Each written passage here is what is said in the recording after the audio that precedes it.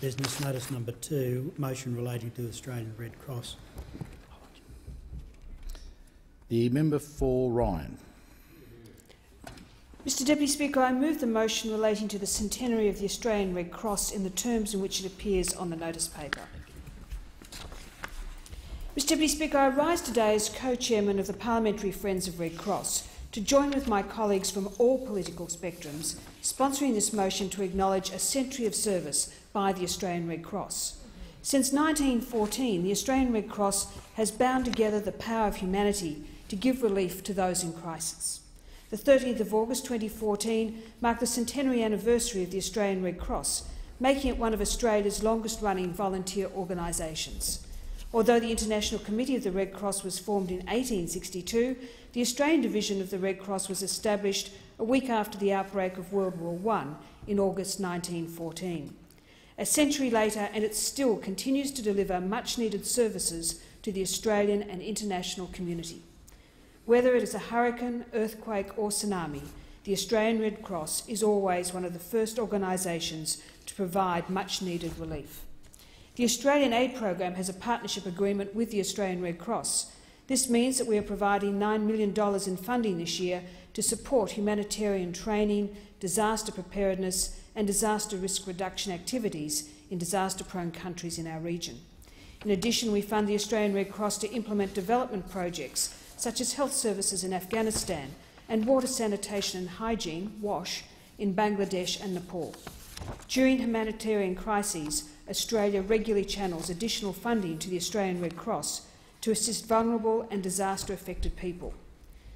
The Australian Red Cross is also the managing partner of the Australian Volunteers for International Development program. Initially, the purpose of the Australian Red Cross was to seek ways in which the inadequacies of the Army Medical Services could best be overcome so as to alleviate the discomfort and pain suffered by those wounded in the conflicts of the First World War. The Australian community bound together in an effort like no other to make large amounts of clothing, socks, vests, mittens, pyjamas and linens for the war effort. From the date of its inception until the armistice of the Red, the armistice, the Red Cross dispatched a total of 395,695 food parcels and 36,339 clothing parcels. The Australian attitude of mateship has most definitely been enhanced by the presence of the Red Cross in the community, with a legacy of companionship lasting to the present day. It is with the help of the Australian Red Cross that the generous culture of our nation has been fostered. The centenary year of Red Cross in Australia is therefore a significant milestone in the social history of our nation, as it marks 100 years of humanitarian service to the people of Australia. As a prisoner of war in Stalag III, my father still speaks about the Red Cross parcels when recounting his experiences at that time. I acknowledge that much of Australian society shares a personal connection with the Red Cross, whether it is through volunteering or receiving help themselves. As a member of the now Western Suburbs branch of the Red Cross for 20 years, a disaster volunteer and a former Queensland board member, I've seen firsthand the outstanding work undertaken by Red Cross volunteers, from knitting literally thousands of trauma teddies to running the Red Cross shops, and their invaluable contribution at times of disasters, such as the children, Childers Backpackers Fire, the Bali bombings, and the devastating floods and fires in Australia.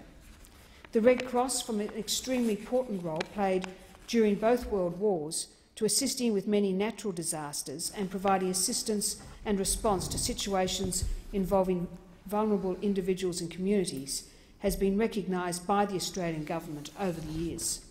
The Australian government is, highly values the efforts performed by the Red Cross as an association and each individual who has chosen to volunteer their time or donate blood. It is a great testament to humanity's willingness to help those in need that the movement is scattered around 189 countries worldwide.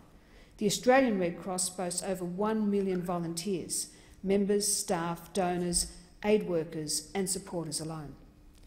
Mr Deputy Speaker, 13th of August 2014 was indeed a momentous day, marking the 100-year anniversary of the Australian Red Cross. However, for the Red Cross and for all those they help, it is just another day, another day where ordinary people work together to achieve extraordinary feats for the betterment of our society and humanity as a whole. On behalf of everyone in this chamber, I say thank you to Red Cross and their volunteers.